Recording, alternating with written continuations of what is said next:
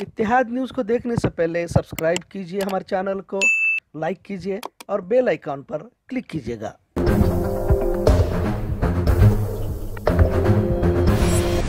आज जश्न ईद मिलादुम नबी के सबको मुबारकबाद देता हूँ। आज योम जश्न ईद मिलादुलनबी मनाया गया। हर साल की तरह इस साल भी तिलावत कुरान से शुरुआत की हमने। और नाच शरीफ हो गई। उसके बाद परचम लहराई भी। क्योंकि इसे कोरोना 19 की वजह से ये सब गवर्नमेंट से पाबंदियाँ आ, आ चुकी हुई थी। तो डीसी कमिश्नर पुलिस डिपार्टमेंट ने डायरेक्शन दिया था कि ईद मिलादुलनबी को वहाँ से गवर्नमेंट स्टेट से पाबंदी थी। ये पाबंदी रहने के वजह से जुलूस का अहतमाम नहीं हो गया। और छोटे अंदाज में ईद मिलादुलनबी हमने मनाई गई। हर मस्जिदों को, दरगाहों को और मोहल्लों को सजाया गया।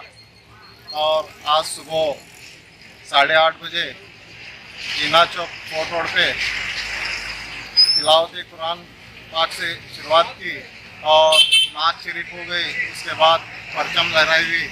मैं तमाम बिरादरन को ईद मिलादुलनबी की मुबारकबाद देता हूँ और सबका मैं तय दिल से शुक्रिया अदा करता हूँ। हालात के पेश नज़र इज्तमाही तौर पर मनाई गई और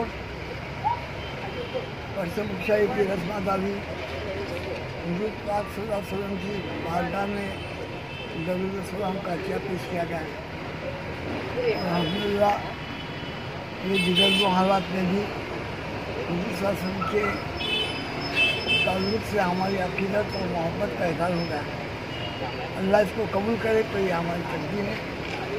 सरकार मोहसिन इंसानियत बनकर आए, सारी दुनिया के लिए इंसानियत का दर्ज सिखाए और इंसानियत नवाजी का इल्म आता और मिलत इस्लामियत की और सन के तालीमत पर अमल करने की कोशिश हमेशा जारी इन हाँ। हज़रत मोहतरम, आज का मुक़दस लम्हा, तारीख़ी दिन हमारे लिए आलम इस्लाम के लिए इंतहाई पाकिज़ा मुक़दस और यादगार है कि आज से करीब 1500 साल पहले इस खाकदान आलम में अल्लाह के आखिरी पैगंबर, अमन व शांति, भाईचारगी के दाई नबी रहमत मुस्तफ़ा सलातो तस्लीम मुल्क अरब में, अब्दुल्ला के घर में, शहर मक्का में तशरीफ़ लाए थे।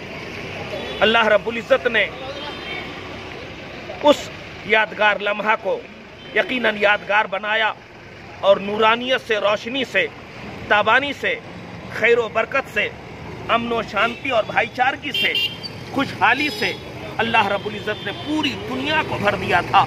आज 1500 साल गुजर जाने के बाद भी, अल्हम्दुलिल्लाह, मुसलमान उसी तारीखी यादगार लम्हा को हर साल सेलिब्रेट करने के लिए यकीनन हम इकट्ठा होते हैं और ताकत और हैसियत के मुताबिक हम ईद मिलाद का अहतमाम करते हैं। इमसाल पूरे मुल्क में, हमारे शहर बेलगाम और रियासत कर्नाटक में मर्ज कोरोना फैला हुआ है।